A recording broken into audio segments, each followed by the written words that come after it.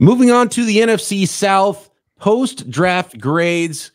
Has our stance changed on the shocking pick draft day? Number eight overall, Falcons going with quarterback Michael Penix and more from the NFC South right now.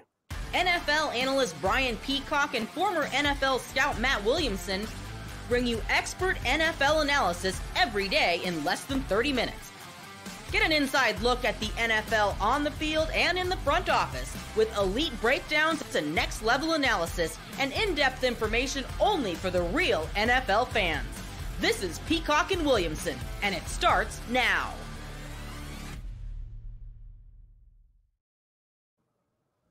Welcome to the Peacock and Williamson NFL show. Brian Peacock alongside Matt Williamson at BD Peacock at Williamson NFL. Thanks everybody for making us your first listen on the Locked On Podcast Network, your team every day. We love our everydayers and we love it when you subscribe. Please hit that subscribe button on YouTube or anywhere you are listening to this podcast. Today's episode of Peacock and Williamson is brought to you by FanDuel. Make every moment more. Right now, new customers get $150 in bonus bets with any winning $5 bet. That's 150 bucks with any winning $5 bet. Visit fanduel.com slash locked on to get started. I don't want to spend too much time on the Atlanta Falcons pick of Michael Penix. We've gone through this draft a lot. We panned it originally. Not many folks liked it or understood it right away. Matt, have you had a chance to think about it more? And did the selection of Michael Penix Jr quarterback out of Washington to Atlanta, pick number eight overall. Does the the process, does the pick, does any of it make a little bit more sense? Do you like it more now after uh, you know a couple weeks than you did originally when the pick was announced on draft day? I don't think so, to be honest with you. I mean, and that's not even a a knock on the player. And I I said this at the time. I think I said this Friday after the day one went in the books that hey, I understand never passing on what you think can be a franchise player. And if he is great, I just think you're not going to know that for a while. Uh, it's just going to be an asset that's sitting in the basement, you know, for a while. And I, I just did this real quick too. Uh, two things. I said to you before we hit record, like, man, this division isn't real super exciting for draft stuff. Like, it was hard to come up with headlines other than Penix. And I didn't think any team took a massive stride forward to being the dominant team in the division. But I thought Atlanta could have if they make a different move here. And then I double and I looked at one other thing just now too, and it shouldn't matter. I mean, it really doesn't. But everyone understands Cousins' contract and situation. But Taylor Heinicke's in the middle of a two-year, $14 million deal, too. You know, like how many assets are you going to have in your quarterback room for your second and third stringers? You know, an early pick, uh, $14 million contract over two years for Heinicke plus Cousins when you could have, you know, Penix and Brissett or Lock if you loved them that much before free agency and Christian Wilkins or something like, you know, this could have other things other things is is where this comes down to for me yeah. and on one hand, I understand it's the most important position on the field. Yes. And maybe in sports. And if you think you have a superstar, if you think it's the next Patrick Mahomes, Tom Brady, whatever it is, name a, a superstar quarterback, Hall of Fame quarterback, you have to take it. If you think that's what it is. Mm-hmm. You have to, and I make it, and I get it, I understand it. Um, you know, whatever team you root for, if that player's there, it's too valuable. You take that player if that's what it is that you're getting. The problem is, like, is that what Michael Penix is? And so the evaluation of Penix for me and for most people is ah, period at number eight, even if he didn't have another quarterback. I, I don't know if he's that guy anyway. Uh, and so really it, it's going to come down to is Michael Penix a superstar quarterback, forces his way into the lineup, and you spent too much money on Kirk Cousins in the short term, and you have to figure out what to do with him in a in a year or two. That's the best case scenario for this, and it's not the most amazing scenario, you know. Uh, right, unless right. unless Penix is a superstar quarterback, and it, will be worth it in the end. You didn't get any of the bonus. You didn't get it. It wasn't like he fell to you at in the twenties, so it's not a Aaron Rodgers, Jordan Love situation. You could have you didn't trade down, and then he's still there, and you still love him, so then you draft him because you have no choice you didn't give yourself any outs or any ability to make your football team better. and he has to be a superstar. This is one of the worst picks we've seen in a long time. So that, that's why I hate it. Um, yeah. You're a new regime, and if you if you were just if it was just because man, we hadn't finished the evaluation yet. We, you know, we, we signed Cousins, and then you know we, we had a that was a front office move, but then the coaches weren't hired yet, and then the coaches are in, and then finally when we finished the evaluations on the draft and got this all together, we really like Michael Penix. Then it's like, well, what are you doing, making these franchise altering moves when you don't even know what the plan is yet? Right, right. It doesn't look like uh, the plan, a strong plan, was ever in place from the top down. You know, right. So there's also a, there's also a human element to it. You know, like you mentioned the Green Bay situation. Favre's basically a Hall of Famer when they, I'm sure he was when they drafted Rodgers. Rodgers is a Hall of Famer when they drafted Love, and they were in the building. You know, like Cousins is just starting to meet people and he's new to the operation. He's not an incumbent. You know, he still has to kind of make his bones as well and win his teammates over. And now he's got this looming. Like, I don't think it's just great from a locker room perspective. No, yeah. I, I, does it, does it, does it, who does it make better? Does it make your team better? Now, for sure, not. Does it make your team better in the future? Maybe if Penix is really great. Maybe. Does it make your current group. Three years from now, though. Yeah, on defense better. No. Does it make Kirk Cousins better? Does it make him? He's already very motivated. I, I don't think that's going to be a thing. So, uh, look, and I'm not going to give out any Fs, but he, this is a D draft for me, and, and we're going to go through and, and mm-hmm. talk about why. But he's you know sleeping on it multiple times. I still don't get the Penix move. Uh, I don't get the entire offseason. What is your plan? It, it, it screams that uh, it's a front office with, without a plan, and that worries me for the Atlanta Falcons. And you look at this division that was one of the worst divisions of football. And you didn't find a lot of teams that got better in this division either with the draft. It's like, no. why are these teams where they are? Well, it's because of some some weird stuff going on in the draft. Um, so moving on from the Michael Penix pick, it's going to be hard to talk me into this one again. Like he has to be superstar quarterback, and you can't pass on those players. Is that what the evaluation told the league? Well, most teams didn't think so, and uh, most evaluators didn't think so, except for the Atlanta Falcons. So we'll see. Um, Ruke Orhorhoro, I didn't love him at the top of round two either. Uh, moving to get moving up to get Ruke Orhorhoro, defensive tackle out of Clemson. I get there's a, a lot of ability there. By the way, with Ruke Orhorhoro, he's sort of a raw developmental prospect, right? Michael Penix Jr. isn't even like a young, well, oh man, he's going to be ready in a couple years anyway. He's already 24 right. years old, right? So he's like a, he was the play now quarterback anyway. Um, Bralen Trice, you know, third round, fine. Uh, his tape was kind of underwhelming for me, doubling up on Washington prospects there. Brandon Dorlus was maybe my favorite pick here, even though he's now uh, kind of, you know, I, I, don't know where the fit is for him on defense, but clearly they knew they needed help on defense. So they tripled up on or quadrupled up on defensive players with four straight picks after the quarterback selection. Uh, Brandon Dorlus can get after the quarterback a little bit, undersized interior rusher, maybe could play some big end for you. Might be more of a rotational guy, but you know, day three pick, round four, it's okay if he is just a rotational guy, not a starter necessarily. Um, JD Bertrand, linebacker out of Notre Dame in round five, couple of round six picks, uh, three round six picks actually to finish it up. Jason McClellan, Alabama running back. Casey Washington, wide receiver from Illinois, and Georgia's defensive tackle Zion Logwood were the uh, the last three selections in this class, Matt. And uh, to be honest with you, I don't know how many of these guys are going to impact the team this year. Maybe zero. How many starters did they get? Maybe they got their future quarterback of the future, which you know the, they'll feel a lot better about in a couple years if if Penix turns into that, obviously, and and we'll see what happens with Ruke Orhorhoro and, Bralen Trice if those are you know starting caliber players and difference making players. Uh, I have my doubts there. Uh, don't like this class at all. If I did give out Fs, I might give them one of those two. Yeah, this is a D for me. I mean, even if, you know, ignoring the Penix situation, none of these other picks do I love. I liked I like Rook. I don't love trading up to 35 for Rook. I mean, you also had to give something up in addition to your there was a better defensive tackle on the board. Newton, Johnny who Newton. actually, yeah, but it, no, he is worth noting. He has Jones surgery today, though, too. I mean, yeah, so yeah. maybe there's more with Newton going on falling right. than we realized at the time. And but he's a better football player than Orhorhoro. Right, he's better now, and I think he's got better future as long as his feet are okay. And mm-hmm. uh, Washington general manager Adam Peters said that they had a first round grade on Newton, and you know clearly it's the foot thing that, that kept him out, and that's why he fell a little bit. And so you know maybe some some teams were a little bit worried about that.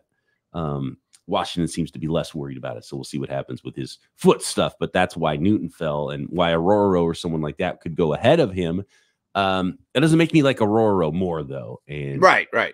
I, I, don't know where the impact here is. And I'm looking at this team and this defense, and you still got Grady Jarrett, um, Ebiketie. I mean, they just kind of added more of the same, like, okay, competition exactly. for a mediocre group already. They needed impact. They needed guys that are like, okay, this guy is a cornerstone player for our defense. And uh, they did not find that player, in my opinion. I mean, instead of adding three rookie defensive linemen, I would have loved to have seen Christian Wilkins or Byron Murphy, Brian Mur- or Byron Murphy, or somebody like that. That's an impact guy, you know, instead of the quarterback situation. And these probably weren't even wouldn't even have been the defensive linemen I took on day two either, you know. Right. So, I mean, some of these drafts we criticize the first round pick, and we're pretty well through the series now. But then, like, man, I really loved their fifth round pick. Well, I don't have that with this draft. I don't, and I do have that with some of these other drafts in the South yeah. to them. So, and that's why it's a D for me. Not only I, I, I didn't value the players they took, where they took them, and I hated the strategy. So there's nothing mm-hmm. I like about the Atlanta Falcons draft. Agreed. I don't like the plan. I don't like the players. I don't like the value. It doesn't mean we're other right. than that's great. it doesn't mean we're right. Uh, time will tell. Penix is a superstar quarterback. None of it. He may be a Pro Bowler in three years, and then, then the draft's fine. But what could have been this year? You could add your pick of defensive player, and uh, I probably would have done that. Next, we've got the Carolina Panthers. Speaking of teams that we've uh, been scratching our heads about what the heck they're doing for a while now, uh, does this draft help them get on the right track? New Orleans Saints adding a couple nice picks at the top, and uh, the Buccaneers taking the first center in this class. We'll get to all of those classes next. Today's episode of Peacock and Williamson is sponsored by eBay Motors. Passion, drive, and patience. It's the formula for winning championships. It's also what keeps your ride or die alive. eBay Motors has everything you need to maintain your vehicle and level it up to peak performance. Superchargers, roof racks, exhaust kits, LED headlights, and more. Whether you're into speed, power, or style, eBay Motors has you covered with over 122 million parts for your number one ride or die. You'll always find exactly what you're looking for. And with eBay Guaranteed Fit, your part is guaranteed to fit your ride every time or your money back because with eBay Motors, you're burning rubber, not cash. With all the parts you need at the prices you want, it's easy to make your car into the MVP and bring home huge wins. Keep your ride or die alive at ebaymotors.com. Eligible items only, exclusions apply. eBay guaranteed fit only available to U.S. customers.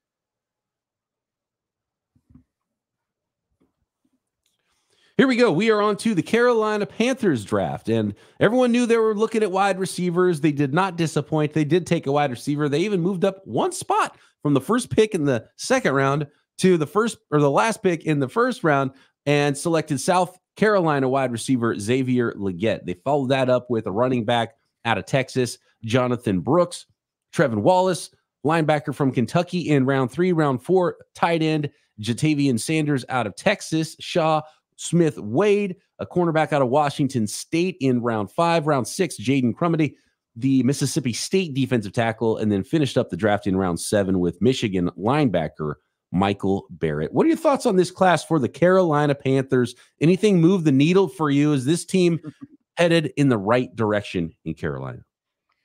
Maybe I just have like the Monday sleepies, can't get motivated, but I think it's the classes, not me. I, I I'm not super psyched about this one either.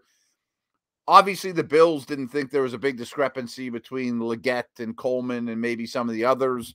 Uh, it's fine if the if the Panthers disagreed and had to have this guy, but I really hope you don't trade up one spot just to get the fifth year option because very few of them are being used at this point, and that's not good business, in my opinion, for a team that needs everything. The player's fine. I, I don't have an issue with it, but he's not a lot different than Coleman or McConkey or Pearsall or the guys that were in that neighborhood for me. I actually like the Brooks pick most, probably, even though they traded up for a running back, which is a huge no no, because he is a very quarter young quarterback friendly player as a receiver, as a pass blocker. We don't know when he's going to see the field, but I get the impression the medicals are pretty good. They traded up for a running back coming off a torn ACL. Eh, yeah.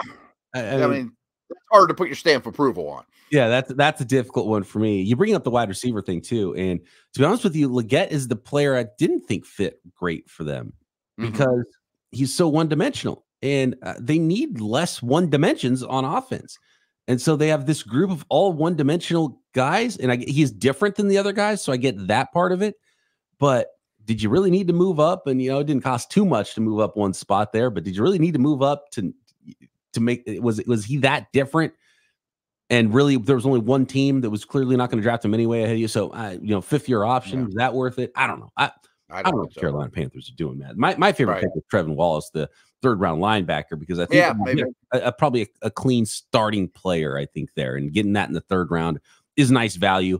And you know, in the end, they might have gotten four starting players, which is why I like this draft a lot more than what the Atlanta Falcons did, especially where they were selecting without a first round pick. Xavier Legette's probably going to be a starting X wide receiver for them at least. Jonathan Brooks starting running back if he's healthy.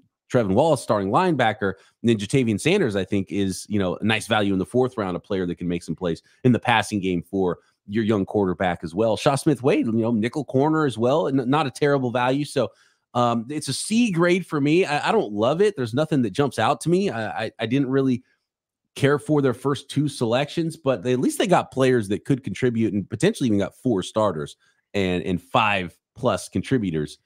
Uh, you know, in a rotational role out of this class, which you know by itself is good value, but on this roster they needed something else. I agree. And uh, for just looking at these names, I mean, they didn't have a ton of resources for being the worst team in the league, of course. And I do think the offseason as a whole rightfully was about making Bryce Young's life easier. Um, Sanders has a pretty decent path to playing time at tight end, even if it's just situational. Nitpicking, I would have drafted a center, you know, like uh, in a really center rich draft. They didn't even add any O line help. I was, I was a little shocked by that. Jackson Powers Johnson was there for him if they Yeah. wanted. Uh, yeah, it's so there and, I'm even talking like Bortolini in the fourth round or whatever. I mean, like somebody. They could have. They could have drafted two of the guys the Steelers took right in round two. Right, right, They right. were they selected in front of the Steelers. They could have gotten um Frazier there. They Frazier, could have right. gotten McCormick in the fourth round. They could have done a number of those things uh, on the interior of their offensive line as well. I, I don't really know what they're doing from a team building standpoint here. Um, I don't hate this draft. I, their, their roster needs more. They obviously didn't have a first round pick, so it's hard to have Mhm. a huge grade. Uh, you know, even after trading up one spot to have a, a late first round pick. They're a hard team to trust in general. I don't love their process with pretty much anything they've done in the last 10 years, or certainly since the new owner took over. Yeah, they're they're they're in a rough spot. If they were a team that was drafting 32 because they were the Super Bowl champions and they added these players, be like, all right, you know, added some pieces to your roster. Uh, for the Carolina Panthers, doesn't move the needle a lot. Still not a good football team, but at least they're Yeah. they're moving forward. You know, small. They're they're- they're they're in baby steps mode. Is is what this draft was about. Yeah. C minus for me. Next, we've got the New Orleans Saints, and this is going to clearly be my favorite draft of four not amazing drafts, I think. Um, but this is my favorite one. And at pick 14, one of my favorite players to watch in this class was Taliese Fuaga out of Oregon State, offensive tackle. I don't know if right tackle is the long term need, how they're going to, um, you know, put together that that offensive line, but you know, tackle was the big need there, and they took the guy that you know consensus was the top tackle available at that point at number 14 in Taliese Fuaga. Came back with phenomenal value, starting corner all day, smart player. I love Kool Aid McKinstry at the top of round two out of Alabama. Spencer Rattler, quarterback from uh, South Carolina, after having no more selections on day two, uh, round five pick, Spencer Rattler. Bub Means, Pittsburgh wide receiver, fast, big. Round five, another round five pick, Jaylan Ford, Texas linebacker, Khristian Boyd, defensive tackle from Northern Iowa in round six, and then finishing up with round seven, Josiah Ezirim. He is a Eastern Kentucky defensive tackle. So back to back defensive tackles to end this class for the New Orleans Saints, Matt. Definitely my favorite one so far, and probably my favorite in the division. I'm just going to call it a B plus, all in all. I mean, they don't have a third and fourth round pick, which makes things tough, of course. I love Fuaga. I really do. I mean, I studied him a lot for the Steelers. Um, but he I thought he was a plug and play right tackle. I don't love him going to the left. I know that those lines are blurrier than they used to be. I think that's their plan. I also worry he might be a guard, but a really good one when said and done. But good football player, help you run the ball. McKinstry's also a good football player. They have some good young corners now. Like I think Lattimore could be had in trade and open up some much needed cap space, eh, but they're kind of in win now mode. So they got a bunch of corners now after this pick. I think Rattler's worth the the dart throw. Um, Means is a guy I saw a fair amount, downfield player with size and speed. Good, uh, good, uh, you know, post season or pre draft process for him too. I think Ford will help. And Boyd is like my favorite day three D lineman in this in the whole draft. I like Khristian Boyd a lot. I'll give my grade on the New Orleans Saints next. We'll talk Tampa Bay Buccaneers as well. Which which team helped themselves the most in a in a bad South division that's still very much up for grabs for multiple teams in 2024 next. Today's episode of Peacock and Williamson is brought to you by FanDuel, America's number one sports book. It's winner take all time in the NBA and NHL playoffs, and FanDuel is giving you a shot to bring home a big win of your own because right now, new customers get $150 in bonus bets with any winning $5 bet. That's 150 bucks to bet on spreads, money lines, player props, and a whole lot more, not just NBA and NHL playoffs. We got Major League Baseball every day, all summer long. And of course, those NFL futures. If uh, you want to bet on the NFL, you still can. Tons of ways to bet. Rookies of the year, offensive and defensive, players of the year, coaches, uh, who is going to win the next Super Bowl. You can find win totals are out uh, on uh, on FanDuel Sportsbook. You can find it all at fanduel.com. Visit fanduel.com slash locked on and make every playoff shot count. FanDuel, America's number one sportsbook.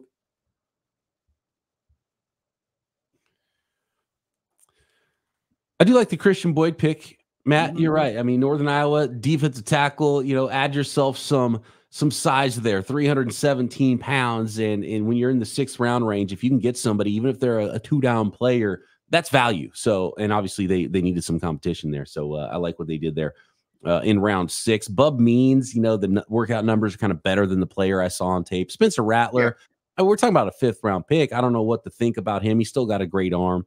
Um, is he starting at some point for them? I, I you know, just this is this is one of the good quarter. going back a little bit to the, it's funny because we there's a lot of quarterback selections in this draft, Matt, where you're like, yeah, I don't know about that. But in the mm-hmm. past, are we talking about out the both sides of our mouth? Because in the past, we've talked about, man, teams aren't putting enough into the most important position.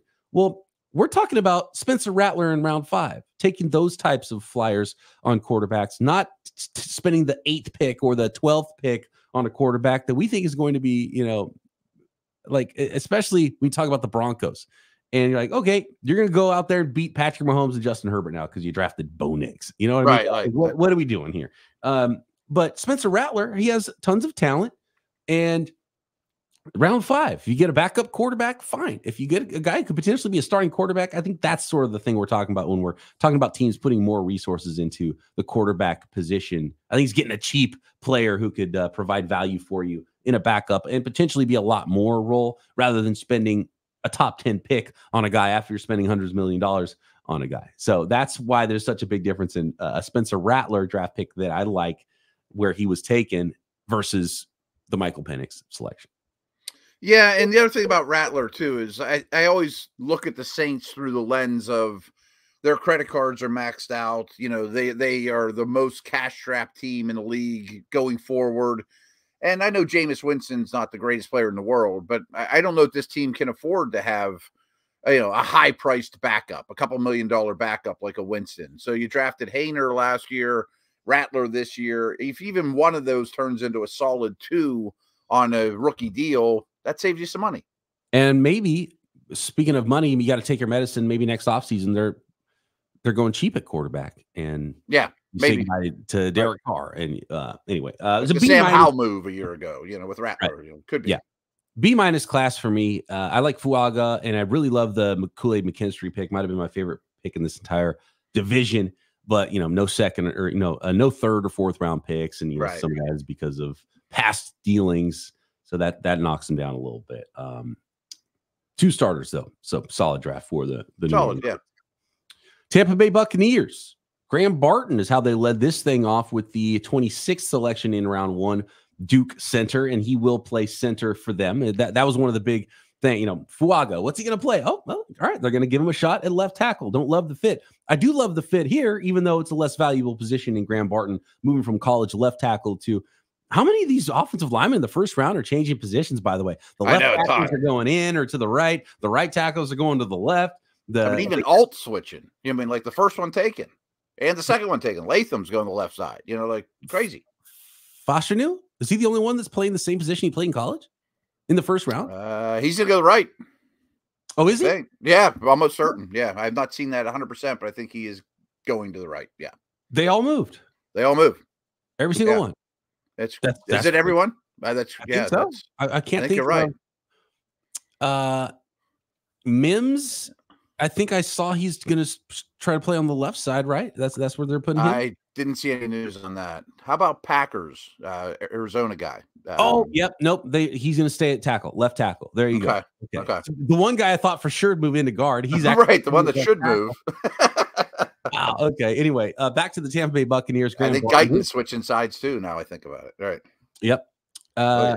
I, I, love Grant Barton. I love his. I think the center's the right spot for him. I think it's the best spot for him. Uh, I, I think you know, Jackson Powers Johnson, there was some injury concerns, some other things with him is why he fell. So we'll, we'll, see if Graham Barton is actually the best center in this class. But love the way he plays, smart, tough. Uh, it's it's fun tape to watch for Graham Barton. So you know, solid. He's a center, so you, you know you're not going to do backflips for taking a center at the end of round one. But it was the end of round one. It wasn't the beginning of round one or anything like mm-hmm. that.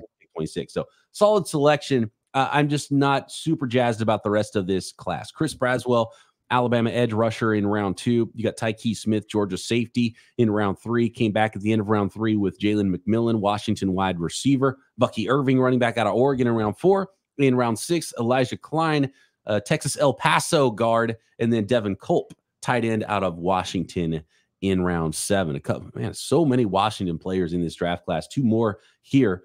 Uh, Jalen McMillan, round three, might be my favorite. That's my favorite. Pick. Yeah. yeah, solid selection there. I think is a player that's going to contribute for you, but that's kind of what they did on day two. Braswell, Smith, McMillan, contributors. Are they starters? The high level players, they're they're solid players. We'll see what happens there. Then you get a center in round one. So no marquee draft picks for me here, but I think solid and you know a depth draft, and maybe you get yourself a you know an all pro type of center in Graham Barton. We'll see how he turns out there. Player I like a lot, but you know this class doesn't really get me super jazzed either.